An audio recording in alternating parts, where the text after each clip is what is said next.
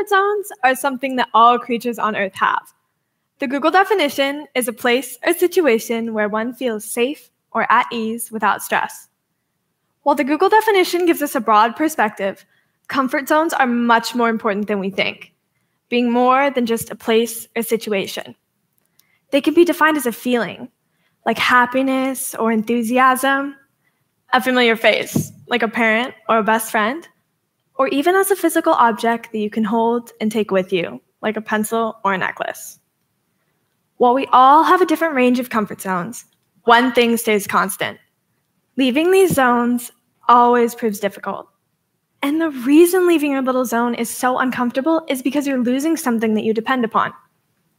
Say you're taking a math test and you can't find your favorite pencil. How would that make you feel? Would you have a sudden sense of panic? Oh no, Where's my pencil? Say you have an expensive ring that was a gift from your best friend and you lost it. How would that make you feel? Would you search for it everywhere? Oh dear, where's my ring? This kind of panic is what happens when you leave that little safe space or zone that you rely upon. These zones are critical to keeping us safe, in our eyes, and in a manageable mood. Leaving these zones not only causes extreme discomfort, but also causes miscommunications and misunderstandings between you and the people you love. Being forced to do something that you have no taste or feel for pushes you a bit too far out of your comfort zone, but also can cause preventable actions to occur. Becoming mad at your friends and family for something that you could have prevented is a really hard feeling to come to terms with. This is why it's so important to understand when and where you have a comfort zone and not to push yourself out of it. For example, this past winter, I was dragged unwillingly to a Salinas High football game and thought I was doing myself a huge favor by breaking out of a comfort zone and trying something fun and new. Wrong. The second I had to pay $10 for parking, I knew immediately something was wrong. I complained the entire way to the field, passing people that I didn't know and people that definitely didn't know me. Once I saw the amount of people in that little arena, I flipped out. I was pretty nasty the whole night. I was cold and I couldn't feel my toes, and I did not want to be there.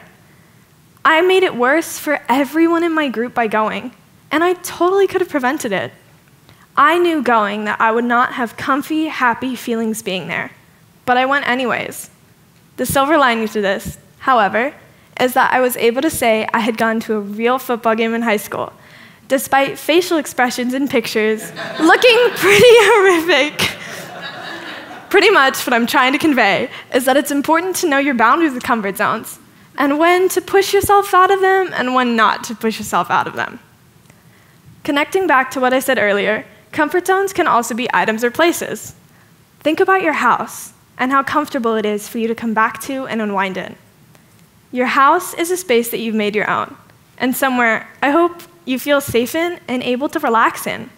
That's a type of comfort zone. However, a home is a completely different type of comfort zone. A home can be a person, not just a physical space in which you inhabit.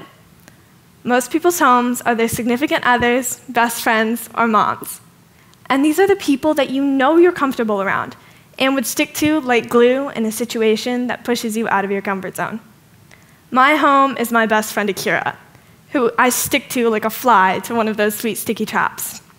For those of you that don't know Akira, she's a current junior here at York and one of the kindest and most calming people that I have ever met. When I feel out of sorts or uncomfortable or out of place in a situation that we're both in, I know I can rely on her to be a rock for me.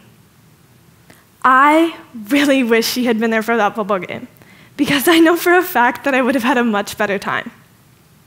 Akira is my home and friend form, and a comfort person and zone for me to fall back on when I know I need that kind of support.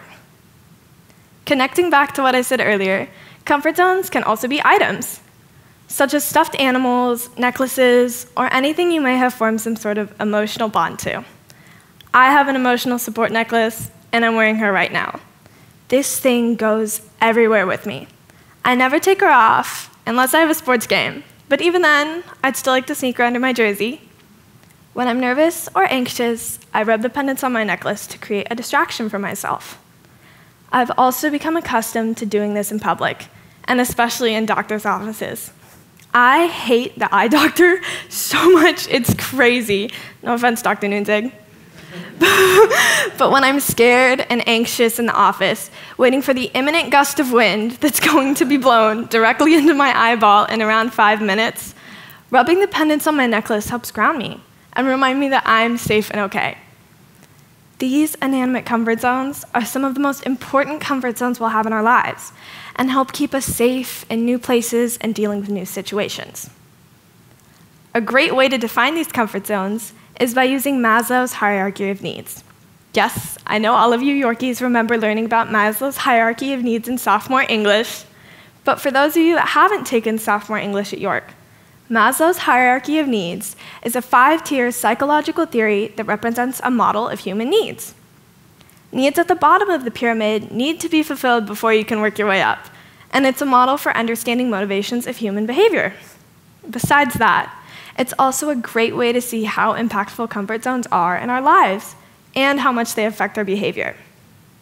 At the bottom of the pyramid is physiological needs, such as air, water, food, shelter, clothing, and sleep. Moving up is safety needs, such as resources, personal security, health, and employment. The third tier is love and belonging, such as family, friendship, intimacy, and connection. Next is esteem, such as respecting not only others, but yourself, self esteem, status, recognition, and freedom. And at the very top of the pyramid is self actualization, the desire to become the best version of yourself.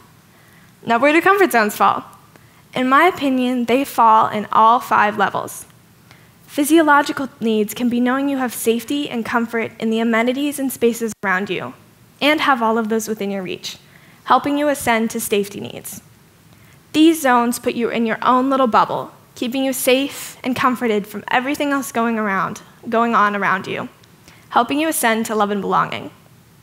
Having family and friends around you that feel like home to you and keep you comfortable bumps you up to esteem. Being comfortable in who you are and where you are in life helps you reach self actualization. And then you're at the top of the pyramid, fully comfortable in the version of you that is the best it can be. These zones help us reach the top of the pyramid and help us become the best versions of ourselves that we can be. These zones are vital to us, and I can't imagine living without them. They keep us safe, happy, and able to self actualize it's important for us to grow out of them and expand them and break them. But just having them here for us is the best thing we can do to keeping ourselves safe and happy. Thank you.